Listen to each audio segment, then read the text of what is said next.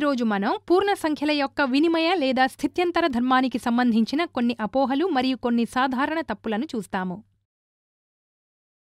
అపోహ ఒకటి ఒకరోజు శశి మరియు విశాల్ పూర్ణ సంఖ్యల యొక్క భాగహార స్థిత్యంతర ధర్మాన్ని నేర్చుకుంటున్నారు. శశి అన్నాడు పూర్ణ సంఖ్యల యొక్క భాగహారం స్థిత్యంతర ధర్మాన్ని పాటించదు అని. తను చెప్పిందాన్ని నిరూపించడానికి అతడు ఒక ఉదాహరణ చెప్పాడు.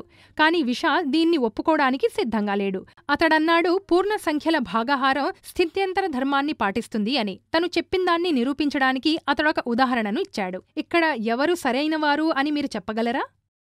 శశి మైనస్ తొమ్మిదిని మైనస్ మూడు చేత భాగించి ఫలితాన్ని మూడు అని తెలుసుకున్నాడు. మరియు మైనస్ మూడును మైనస్ తొమ్మిది చేత భాగించి ఫలితాన్ని ఒకటి బై మూడు అని తెలుసుకున్నాడు. రెండిటి యొక్క ఫలితాలను చూసి శశి సరిగ్గానే ఆలోచించాడు. ఇక్కడ ఫలితాలు సమానంగా లేవు. కాబట్టి భాగహారం ఏ క్రమంలోనైనా చేయడానికి వీలు కాదు. అంటే భాగహారం స్థిత్యంతర ధర్మాన్ని పాటించదు. విశాల్ మూడును మైనస్ మూడు చేత భాగించి ఫలితం మైనస్ ఒకటి పొందాడు. అదేవిధంగా మైనస్ మూడును మూడు చేత భాగించి ఫలితం మైనస్ ఒకటి పొందాడు. రెండు సందర్భాల్లో ఫలితం సమానంగా వచ్చింది. కాబట్టి విశాల్ అనుకున్నాడు పూర్ణ సంఖ్యల యొక్క భాగహారం స్థిత్యంతర ధర్మాన్ని పాటిస్తుందని. కానీ ఇది తప్పు. విశాల్ చేసిన తప్పు ఏమిటంటే అతడు పూర్ణ సంఖ్యల యొక్క భాగహారం యొక్క కొన్ని స్థితులను అర్థం చేసుకోలేదు. సరైంది ఏమిటంటే భాగహారం స్థిత్యంతర ధర్మాన్ని పాటించదు. ఎందుకంటే రెండు పూర్ణ సంఖ్యల యొక్క భాగహారం యొక్క ఫలితం వాటి క్రమాన్ని మార్చడం ద్వారా పొందిన ఫలితంతో సమానంగా ఉండదు. అందుచేత విశాల్ తప్పు. మరియు శశి సరిగ్గా చెప్పాడు.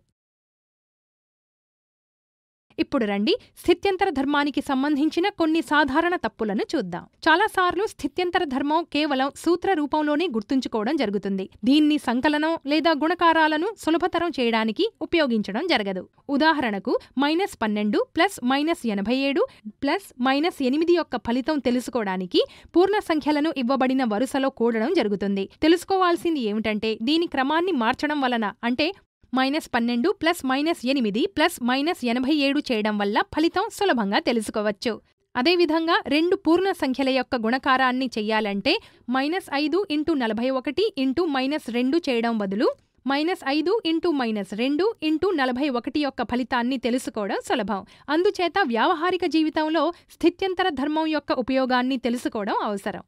స్థిత్యంతర ధర్మానికి సూత్రం A into B is equal to B into A చాలాసార్లు పిల్లలు ఈ ధర్మం కేవలం రెండు పూర్ణ సంఖ్యల యొక్క గుణకారం జరిగినప్పుడు మాత్రమే ఉపయోగకరం అనుకుంటారు. కానీ పిల్లలు అర్థం చేసుకోవాల్సింది ఏమిటంటే రెండిటికన్నా ఎక్కువ పూర్ణ సంఖ్యలను గుణకారం చేస్తున్నప్పుడు కూడా క్రమాన్ని మార్చవచ్చని. ఉదాహరణకు మైనస్ రెండు ఇంటూ మైనస్ నాలుగు ఇంటూ మైనస్ ఐదును మైనస్ రెండు ఇంటూ మైనస్ ఐదు ఇంటూ మైనస్ నాలుగు. మైనస్ ఐదు ఇంటూ మైనస్ రెండు ఇంటూ మైనస్ నాలుగు లేదా మైనస్ ఐదు ఇంటూ మైనస్ నాలుగు ఇంటూ మైనస్ రెండుగా కూడా గుణించవచ్చు. వీటన్నింటి యొక్క ఫలితాలు సమానంగా ఉంటాయి. అదేవిధంగా రెండు కన్నా ఎక్కువ పూర్ణ సంఖ్యల యొక్క సంకలన క్రమాన్ని కూడా మార్చవచ్చు. క్రమాన్ని మార్చినా ఫలితం సమానంగా వస్తుంది. ఈ రోజు మనం పూర్ణ సంఖ్యల యొక్క వినిమయ లేదా స్థిత్యంతర ధర్మాన్ని గురించి కొన్ని అపోహలు మరియు కొన్ని సాధారణ తప్పులను చూశాము.